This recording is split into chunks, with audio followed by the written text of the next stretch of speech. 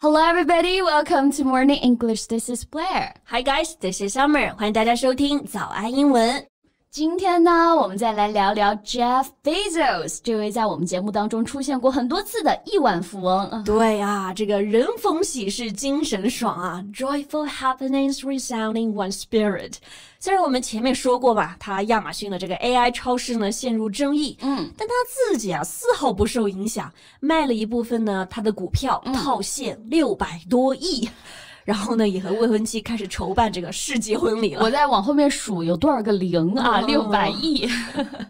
And just recently, they were among the top tech bosses and business leaders to attend a lavish White House dinner，还被邀请参加白宫晚宴了呢。Yeah, lavish dinner。是的啊，这个白宫呢邀请大佬参加的晚宴肯定是非常奢华奢侈的啊。嗯、这里的 lavish 也是个老朋友了，我们经常讲就表示耗资巨大的。没错，large in amount or impressive and usually costing a lot of money。而且他在上个月还短暂。的打败了这个宿敌马斯克，再次荣登世界首富的位置。Once again, he's the richest man in the world。对，不过没持续太久啊，现在是世界第三。嗯。 不过他重回这个世界首富的时候，外面还是有相当多报道的啊。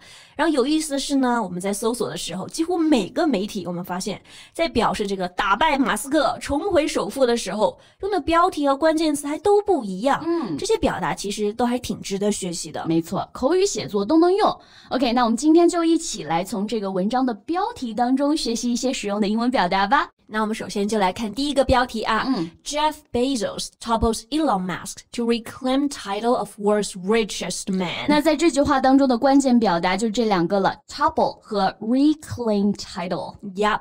Topple，T O P P L E 这个词呢，可以表示倒下、摇摇欲坠，还可以表示推翻、打倒、颠覆啊。To make somebody lose their position of power or authority，比如说一个推翻总统的阴谋，就是 a plot to topple the president。那这个 topple 也可以表示打败、嗯、，to win a victory over someone or something in a war or contest。比如说这个队在第一轮当中就被打败了，the team was toppled, meaning beaten or defeated in the first round。对，这里的 topple 它的同义词啊，就是被老师刚刚说的 beat 或者 defeat 打败这个意思。或者我们说这个电话公司打败了当地的竞争对手，the phone company has toppled its local competitor。嗯，OK，那这个 Jeff Bezos topples Elon Musk，就是说他打败了马斯克。然后第二个关键词 reclaim the title，reclaim 就是取回、拿回的意思。 比如说你钱包丢了啊，你要去警察局拿回来。You have to go to the police station to reclaim your wallet，或者说重新拿回一个什么头衔啊，比如说这个队从对手手中呢夺回了冠军。You can say the team reclaimed the title from their rivals。对，讲的这个头衔，这和我们等会儿来讲第二个标题也很有关联啊。嗯、okay, so here comes the second headline: Jeff Bezos dethrones Elon Musk to become the richest person on earth again. Here, the word worth noting is this one dethrone、嗯、这个词的词根大家肯定熟啊，就是这个 throne 王座、王位的意思。Yeah, Game of Thrones，、yeah. 王位的游戏，也就是权力的游戏。没错，那前面再加一个前缀 de 啊，就表示被赶下了王位，被撵下台，被贬值了。嗯，to remove somebody from a position of authority or power，所以经常呢也被用作一个比喻含义，表示被夺走了头衔，或者用流行语来说就是被偷塔了。是。比如说，一个去年的冠军，今年呢在第一场加时赛里就被打败，这个冠军头衔被易主了。Last year's champion was dethroned in the first round of the playoffs。标题里的用法呢也是很简单 ，A dethrones B，所以就是 Jeff Bezos dethrones Elon Musk。对，OK，那我们继续从这个外刊标题学英文啊。嗯，除了前面讲的 topple、dethrone，当然也有很多其他很直接的表达，比如这个 surpass，就是超过、胜过的意思，也算是个比较正式的表达。Right. So another headline puts it like this: Jeff Bezos surpasses Elon Musk as world's richest person. 对，这个 surpass，大家可以记一些非常常见的 搭配啊，比如说刷新世界纪录，这是 surpass the world record。对，超出预期 surpass expectations，还可以超越自己、嗯、surpass oneself。For example example, her cooking was always good, but this time she has surpassed herself. 对。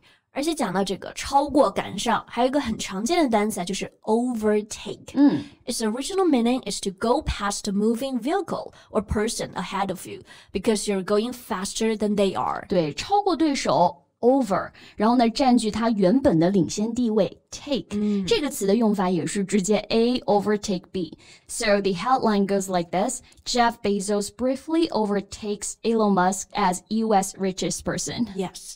OK，那刚刚我们讲了一些单词啊，当然有些词组可以用，比如我们来看这个标题啊，Jeff Bezos is the world's richest person again, edging out former number one Elon Musk。这里呢就是这个词组 edge out。对。edge 这个单词本身表示优势，那么 edge out 就有一种逐渐超过、取代或者说更成功这个意思啊。嗯、to slowly become more successful, popular, etc. than someone or something。比如说，哎，买车的时候，efficiency 这个效率会比价格更重要。嗯、efficiency has edged out price as the top reason people give for buying the car。对。 或者比如说，你看球赛，这个湖人队处于劣势，不过我觉得他们会打败火箭队。嗯，The Lakers are the underdogs, but I think they'll edge out the Rockets. 所以这个标题里的 edge out former number one Elon Musk 就是表示超过他，打败他。没错，所以我们今天呢就从 Bezos 的幸福人生当中啊 学到了这些实用的表达。大家在读外刊的时候也可以留意这些词的用法。Yeah, okay, so that's all we have for today. 今天节目就到这里啦。Hello, welcome to Morning English. 早安英文呢是一个为大家免费提供英语教学的频道，每天都会更新。如果你想获得关于英语听说读写的内容，我们都会在这个频道更新。我们的目标是帮助全球的华人学好英语。如果你觉得还不错的话，记得给我们订阅哦。另外，点开小铃铛，这样的话就不会错过其他任何学习视频啦。对了，如果你想获取本节课的完整版笔记，在视频简介或者评论区领取哦。你也可以给这个视频点赞，点赞就相当于自动保存啦。So thank you so much for listening. This is Blair. This is Summer. See you next time. Bye.